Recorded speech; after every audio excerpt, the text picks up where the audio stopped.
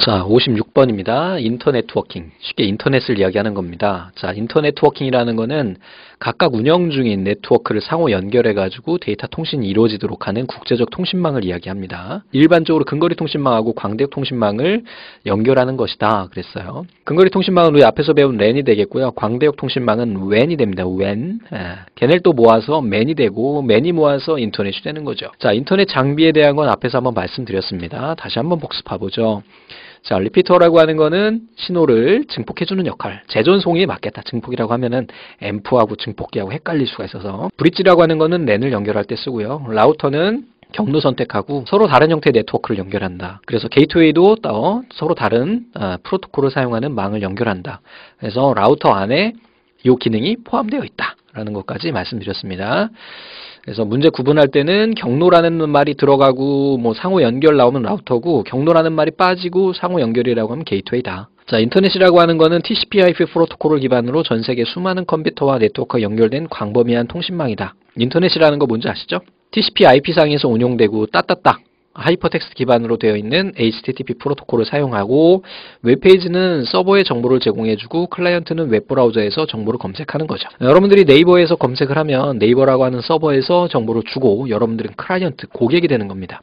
그래서 클라이언트에서는 아, 웹브라우저로 여러분들이 그 정보를 보는 것이 바로 따따따가 되는 거고 FTP는 파일 전송 프로토콜이 시험 문제 자주 나옵니다. 얘는 파일을 전용으로 어, 전송할 때 사용하는 거예요. 그래서 제가 그냥 간단히 tool 하나 보여드릴까 봐요. 저희가 이제 여기 보시면 이게 그 FileZilla라고 하는 이제 무료 FTP 전송 프로그램인데요. 어, 여기다가 뭐 이렇게 이렇게 해가지고 서버에다가 파일을 올리게 되면 저희 서버에 연결이 되고 그 안에 이제 파일을 전송할 수 있는 이런 폴더들이 나와요. 그래서 여기다가 강의를 저희가 올리게 되면 여러분들이 이제 강의를 보실 수 있는 그런 구조가 되는 거죠. 얘가 File Transfer Protocol, 파일 전송 프로토콜이다. 자, 다음에 Telnet이라고 하는 거는 tele가 뭐예요? 원격지에 net은 네트워크는 그래서 원격지를 서로 연결하는 거예요. 그래서 원격지에서 내 컴퓨터에 접속할 때 쓰는 게 바로 Telnet입니다. 아, 이것도 서버를 관리할 때는 많이 씁니다. 그래서 Telnet을 통해 가지고 우리가 연결을 하고요. 자, Usenet이라고 하는 건 현재 쓰지 않습니다. 얘는 요즘으로 치면은 카페 뭐 이런 걸 이야기할 수 있겠죠. 아, 그래서 분야별로 공통된 관심사를 가진 사용자들이 서로 의견을 주고받는 이러한 것들 유즈넷이라고 했는데 안 된지 서비스 안 된지 10년이 넘었어요.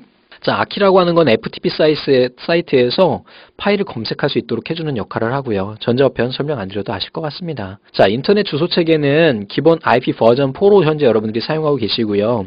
IP 버전 6도 나와서 현재 지금 운용 중이에요. 근데 같이 쓰고 있기 때문에 여러분들이 모르는 사이에 쓰고 있습니다. 예? 자, 얘는 어, 하나의 옥텟은 8비트로 구성된다 그랬는데요. 이렇게 총 하나의 옥텟이 이렇게 4개로 구분이 되고요. 옥텟이라고 하는 게 여러분들 뭐예요? 8이잖아요. 8. 8이라고 하는 거는 8비트란 얘기거든요. 어? 옥텟 비트. 그래서 어, 여기 하나가 8비트인 거예요. 그럼 여러분들 8비트는 여기에 있을 수 있는 경우의 수가 어떻게 돼요? 2에 8승하면 200, 50, 300 아니야. 256 나오겠죠? 그래서 결국은 0에서부터 255까지. 그러면 256개가 되니까. 그래서 0에서 255까지의 값들을 가질 수 있도록 여러분들 IP 주소가 할당이 됩니다. 그래서 보통은 이제 IP 공유기 같은 경우에는 비상용 IP라고 그래서 쓸 수 없는 IP거든요. 인터넷에 연결이 안 되는 국내에서만 쓸 수 있는 거예요. 여러분들 공유기에 있는 IP는 많이 들어보셨을 거예요. 192, 168, 0.1부터 시작해가지고 255, 255까지의 IP는 비상용 IP예요. 그래서 얘네는 사용되지 않는 그런 IP인데 이렇게 우리가 표현하잖아요. 어, 이게 IP 버전 4입니다. 자, 그리고 이제 IP 버전 6라고 하는 거는 이 주소가 그렇게 많지가 않아요. 부족하죠. 스마트폰에도 써야 되지. 요즘엔 냉장고, TV에 다 들어가지. IPTV에 들어가지. 컴퓨터에 쓰지. 여기저기 너무 많이 쓰니까 전 세계적으로 우리가 지금 60억 인구, 70억 인구 이렇게 얘기하잖아요. 그러면은 한 사람당 IP를 다섯 개만 써도 7호 35, 350억 개가 필요하거든요. 이론적으로 그렇지 않아? 근데 그게 안 되잖아요. 그래서 아, 요 주소가 부족하다. 그래서 쓰는 게 바로 IP 버전 6가 이제 나온 거예요. 얘는 128비트로 돼 있고요. 이 16비트예요. 6비트가 아니라 16비트씩 8개로 구성돼서 128비트로 구성되어 있습니다. 그래서 얘는 16비트이기 때문에 16진수로 표현을 해요. 총 8개 단위로 하나, 둘, 셋, 넷, 다섯, 여섯, 일곱, 여덟. 굉장히 길죠? 128비트면은 2에 128이니까요. 2에 128승이니까 거의 뭐 셀 수 없을 정도의 큰 값을 우리가 쓸 수가 있다는 거죠. 자, IP 버전 4의 특징 및 구조. 그래서 IP 버전 4는 TTL 필드는 IP 버전 6에서 홉 제한으로 풀린다. IP 버전 4의 옵션 필드는 IP 버전 6에서는 확장 헤더로 쓰인다. IP 버전 4의 총 길이 필드는 IP 버전 6에서 제거되고 payload 길이로 대치된다. 뭐 어려운 말 나오는데 간단히 정리해 주시고요. 이게 IP가 있다 보니까 IP 대역이라는 것이 너무 크잖아요. 그래서 얘네를 반으로 쪼개요. A반, B반, C반, D반, E반으로. 그래서 A 클래스라고 하는 거는 우리 IP를 보통 볼 때 아까 총 4가지 구분으로 했잖아요. 그래서 여기를 기준으로 해서 하위를 자르는 것이 A 클래스고요. 여기를 기준으로 해서 자르는 것이 B 클래스. 여기를 기준으로 해서 하는 게 C 클래스입니다. 예를 들면은 1점, 0.0.0 이렇게 하고 하면은 결국은 얘네는 A 클래스 바로 1부터 시작해가지고 이 뒤에 있는 IP를 모두 쓸 수 있다는 거예요. 그래서 얘가 따로따로가 있는 게 아니라 어떤 기관이 있으면 국가가 있으면 뭐 대한민국이에요. 대한민국이면 A 클래스 큰 걸 하나 받아요. 뭐 10점, 1.1.1을 받아요. 그럼 거기에서 이제 경기도, 아니 경기도로 치지 말고 KT라고 하자. 자, 기간 통신 사업자에 이번에는 B 클래스를 받습니다. 여기에서 그래서 10점, 2.1.1 이렇게 해가지고 여기까지 이 하위를 쓸 수 있는 거예요. 그 다음에 이 KT 안에서 어떤 지역이 있겠죠? 그럼 이 안에서는 C 클래스를 받아요. 그래서 여러분들 집에서 그 동네 정도 기준으로 이 C 클래스 하나가 256개 IP를 할당받기 때문에 회사로 치자. 회사 하나에 256개 컴퓨터가 있다 그래서 여기에 예, C 클래스를 할당받습니다. 그래서 10점, 2.1.1 이렇게 해서 그래서 결국은 뭐냐면 여기에 있는 이 지금 A 클래스 같은 경우는 이 뒤에 있는 거를 가변으로 쓸 수 있는 거예요. 그래서 얘네가 지금 8비트고 3이니까 38이 뭐야 24죠. 그래서 2에 24승인 음, 1600만 개, 1700만 개의 IP를 쓸 수가 있게 되는 거죠. 그 다음에 B 클래스는요. 요렇게 쓰는 거거든요. 그럼 얘는 2에 16승이 되겠죠. 그래서 6만 5천 개, 약 6만 6천 개의 IP를 쓸 수 있는 할당이 되는 거예요. 다음에 이제 C 클래스는 이렇게 요만큼을 쓰는 거예요. 요 부분에 그러니까 결국은 0에서부터 255까지니까 2에 8승 해가지고 총 256개의 IP를 할당을 받는 거죠. 그래서 일반적인 소형 기관에서 이렇게 받게 됩니다. 자, 그럼 한번 쭉 읽어볼게요. 이렇게 나누는 이유는 음, 할당을 해주기 위해서예요. 그 할당해주는 이유는 구분을 하기 위해서. 우리나라는 그래도 또 인터넷이 발달해서 전 세계적으로 IP를 많이 할당받은 국가 중에 하나입니다. 자, 우선 A 클래스라고 하는 건 대형 기관 및 기업에서 사용된다 그랬는데 보통 국가 단위로 보는 게 또 맞아요. 근데 우리나라는 뭐 A 클래스 두개 세트, 네개 세트 뭐 이렇게 받겠죠. 그래서 2에 24승인 1,700만 개 정도 이렇게 쓸 수가 있고 B 클래스는 중형 기관 보통 뭐 삼성 정도면 B 클래스 하나 받을 수 있겠다. 6만 5천 대. 예, 이 정도. 자, C 클래스는 이제 소형 기관. 그래서 여러분들이 집에 쓰고 계시는 공유기가 바로 C 클래스 할당을 해줘요. 그래서 앞에서 제가 말씀드렸죠. 192점, 168점, 아유, 168입니다. 0.1 이렇게 되잖아요. 그러면은 여기서 IP 몇 개 쓸 수 있어요? 1부터 255까지 쓸 수 있어요. 어? 얘가 이제 게이트웨이가 되고 마지막은 이제 broadcast 주소가 되기 때문에 실제로는 254개를 쓸 수가 있습니다. 요거에 대한 건 좀 어려운 얘기긴 한데 어떤 C클래스로 네트워크가 구분이 되면 여기 게이트웨이가 달리거든요. 여러분들이 쓰고 계시는 공유기가 바로 게이트웨이예요. 게이트웨이도 하나의 주소, IP 주소를 갖거든요. 그래서 이 주소는 못 써요. 그래서 256개 중에 하나가 빠져요. 그리고 맨 마지막에 있는 255번은 이 방송용으로 어, 얘네들 이제 제어하기 위한 방송용으로 255번을 또 하나 또 빼요. 그래서 결국은 256개에서 두 개를 뺀 254개만 여러분들이 쓸 수 있게 됩니다. 공유기 스펙에 보면 여러분 구매하실 때 보면 총 컴퓨터 연결 대수가 250대 정도 연결할 수 있다라고 나와 있을 거예요. 정확히 한다는 하는 곳은 254개. 근데 집에서 그 정도 안 쓰잖아. 기껏해야 10대죠. 자, D는 멀티캐스트용, 방송용입니다. 그다음에 E는 실험용으로 사용이 됩니다. 자, 다음에 이제 서브넷 마스크라고 하는 애가 나오는데 이거는 IP를 할당을 받잖아요. 그러면은 예를 들면은 어떤 학교에서 학교의 강의실이 크게 두 개가 있어요. 그래서 A 컴퓨터실, B 컴퓨터실이 있는데 여기에 32대가 들어있고 여기 32대가 다 달려있어요. 그러면은 이 안에 있는 애들을 어떻게 해야 되냐? IP를 할당을 해줘야 되죠. 근데 우리 내 네트워크 환경 이런 거 들어가 보면 여기 안에 있는 컴퓨터들 다 보이잖아요. 그치? 그래서 연결해가지고 파일 주고받을 수 있고 막 하잖아. 저 학교 다닐 때는 스타크래프트를 그렇게 압축해가지고 주고받고 했는데 이렇게 돼 있잖아요. 그래서 요만큼 요만큼 구역을 할당해 주는 거예요. subnet이라는 게 뭐예요? sub 하위 네트워크를 마스크 분할해 주는 역할을 해요. 그래서 이건 어떻게 하느냐?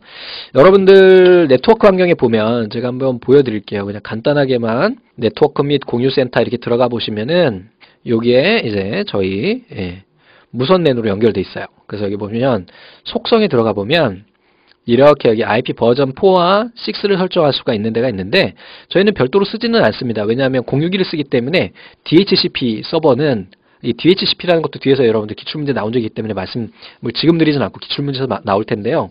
어, 자동으로 IP를 할당해줘요. 그래서 IP를 이렇게 하지 않습니다. 근데 이제 어, 대학교 그 강의실이나 그런 데는 IP를 하나씩 다 받거든요. 여기다 IP 주소를 넣죠. 그 다음에 subnet mask라는 걸 넣는데 이거는 내가 지금 속한 네트워크를 이만큼 구획할 거야 라고 하는 그런 구획이에요. 구획. IP 형태로 표현합니다. 그 다음에 기본 게이트웨이는 여러분들 공유기 IP 아까 이 말씀드렸던 19168.0.1 이게 게이트웨이가 되는 거죠. 그래서 얘는 IP를 쓸 수가 없는 거예요. 우리가 이렇게 설정을 할 수가 있어요. 그래서 저기서 subnet mask를 설정을 하게 되면 얘네를 구획할 수 있는 거예요. 그래서 내 컴퓨터 환경을 열었으면 이 B 컴퓨터는 안 보여요. 여기 있는 애들만 보이죠. B도 마찬가지로 얘네를 구획하기 위해서 쓰는 게 subnet mask다. 이렇게 되는 거고 보통은 커- 어, 정보 처리에서 최근에 이 문제가 나와요. 기사에서. 네, 산업기사는 안 나오고요. 산업기사에 나왔으면 여러분들 제가 가르쳐 드렸을 텐데 간단히 말씀드려가지고 여기 32대잖아요. 그럼 서브넷 마스크는 어떻게 쓰냐면 255점, 255점, 255점, 255 이렇게 이게 서브넷이 풀로 이제 못 쓰게 하는 거예요. 야, 이 컴퓨터는 여기에는 0대도 쓸 수 없어. 그럼 만약에 255점, 255점, 255점, 0 이렇게 쓰거든요. 그러면 이 C클래스, 마지막에 있는 C클래스에 해당하는 부분은 다 쓰겠다. 즉, 254대를 쓸 수 있게 하는 거예요. 이 네트워크는 254개까지 연결 가능한 거죠. 여러분들 공유기 연결해 가지고 게이트웨이 잡으면, 게이트웨이란다. 이 subnet 잡으면 이렇게 잡게 돼 있어요. 매뉴얼 한번 보세요. 255.255.255.0. 이거 5다이. 자, 그러면 여기 32대다 그러면 어떻게 하면 되냐면, 255 빼기 32. 이렇게 하면 5에서 2 빼면 얼마 나와요? 3. 5에서 3 빼면 얼마 나와요? 그래서 subnet mask를 여러분들 컴퓨터에 32대가 들어있는다. 그 컴퓨터실에 있다 그러면 205, 255점, 255점, 255점, 223 이렇게 쓰면 지금 내 컴퓨터가 속한 구획의 네트워크는 총 32대만 허용 연결이 허용이 돼요. 그럼 거기다 컴퓨터 하나 더 갖다가 랜캡을 꽂아 인터넷 될까요? 안 돼요. 내부 네트워크 될까요? 안 돼요. 충돌 생깁니다. 이렇게 subnet mask라고 하는 것은 우리가 클래스를 받았어. 근데 그걸 더 쪼개고 싶어. 그럴 때 쓰는 겁니다. 정보 처리에는 이걸 또 어렵게 또 뭐 subnet ID하고 뭐 network ID하고 계산하는 문제가 막 나오는데 기사에 에, 여기 사무자동화에서는 그 정도는 아닌 것 같아요. 클래식한 기존의 네트워크를 sub, 즉 메인이 아닌 어떤 가공을 통해서 네트워크를 나눠주기 위한 기법이다. 어떤 기관에서 배정받은 하나의 네트워크 주소를 다시 여러 개의 클래스로 쪼개기 위해서 사용하는 거다. 근거리 네트워크망에서 각 네트워크망을 구분하기 위해 사용하는 것으로 IP 주소를 네트워크 부분과 호스트 부분으로 구분하여 사용한다. 예를 들어서 어떤 회사에서 컴퓨터가 100대인데 C 클래스를 받아서 쳤어요. 그럼 C 클래스 받으면 255대 받은 거잖아요. 이때 default subnet mask를 사용할 경우 100대가 한 네트워크에 속해 있어서 broadcast 영역이 커서 좋지가 않다. 무슨 얘기냐? 우리가 255로 받았잖아요. 그 즉 254대를 254대를 이렇게 쓸 수 있도록 받았는데 우리는 100개밖에 안 써요. 그러면 브로드캐스트 얘네 통신할 때 통신할 때 나머지 154개는 놀고 있는데 여기도 다 물어보는 거 아니야 계속 야 너 보낼 거 있어 보낼 거 있어 이렇게 물어보거든요 불필요하죠 그래서 구획을 딱 치는 거죠 그래서 서브넷 마스크에다가 이걸 100 빼면 얼마 나와요 154 딱 적어주면 아 이 네트워크에는 컴퓨터가 100대만 있으니까 100개한테만 물어보자 이런 게 되는 거죠 그러면 훨씬 더 효율적으로 쓸 수가 있겠죠 근데 255대 정도면 별도로 구획하지 않아도 됩니다. 이런 것 때문에 그리고 또 IP를 또 낭비를 줄여줄 수 있다. 클래스별로 A 클래스는 255 뒤에 있는 애들을 모두 다 쓸 수 있는 거예요. B 클래스는 요 뒤에 있는 거. 그래서 얘는 총 몇 개가 돼요? 2에 24승, 얘는 2에 16승, 얘는 2에 8승 개의 개수를 가질 수 있다. 자, DNS라고 하는 거는 여러분들 도메인 네임 서비스라고 그래서 여러분들 두목넷 들어올 때 IP 주고 들어오나요? 원래 두목넷 서버는 IP로 구성되어 있는데 근데 어때요? 두목넷이라고 하는 사람이 잘 이해할 수 있는 단어로 표현이 되어 있죠? 요거를 전환해주는 데이터베이스 서버가 바로 DNS 서버예요. 여러분들이 두목넷이라고 딱 하면 각 그 ISP, 바로 KT나 LG에 DNS 서버가 있습니다. 다 얘네도 연결이 돼 있어가지고 얘네가 내가 두목넷이라고 치면 그 서버로 딱 가서 두목넷이라고 하는 애를 찾아서 걔 IP 주소로 연결해주는 역할을 해요. 이게 바로 DNS다. 그리고 여기 DNS header flag field 나오는데 예, 한번 출제가 된 적이 있습니다. 그냥 간단히만 정리하고 계세요. 어, QR, OP code AA, TC, RD, RA0, R code 이렇게 돼 있습니다. 그래서 이것도 그냥 간단히만 한번 읽어보셔요. 저라면 외우지 않습니다. 자, 인터넷 서비스에서 다른 컴퓨터를 자신의 컴퓨터와 같이 원격으로 사용할 수 있도록 해주는 거, 원격 접속, Telnet. 네트워크 내 주소에 할당하는 IP address 중에서 네트워크를 식별하기 위해서 몇 비트를 network address로 사용할지를 정의하는 것. 이거 뭐예요? subnet mask. 자, 기억 내용과 설명이 있는 인터넷 서비스는 다수의 사용자들이 각 분야별 공지사항 및 최신 정보를 공유해 준다. 이거 뭐요? Usenet이네? 지역적으로 멀리 떨어져 있는 컴퓨터로 파일을 주고받는다. FTP 2번이 답이 되겠네요. 다음 중 IP 주소 형식 중에서 호스트를 가장 많이 할당받는 거 A죠 뭐. 2에 24승계. 그래서 여기까지 해서 살펴봤습니다. 자, 다음이 이제 아마 마지막 시간일 거예요. 그래서 마지막 시간 다음 시간에 뵙고 아, 마무리하겠습니다. 감사합니다.